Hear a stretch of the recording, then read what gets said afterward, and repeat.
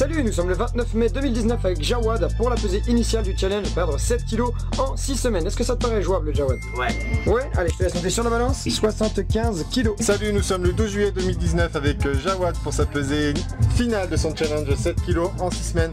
À ta pesée initiale, tu étais à 75 kg, tu dois être à 68 kg. Est-ce que ça te paraît jouable? C'est bien ça. Ouais, je te laisse monter sur la balance, Jawad. 65 kg 100.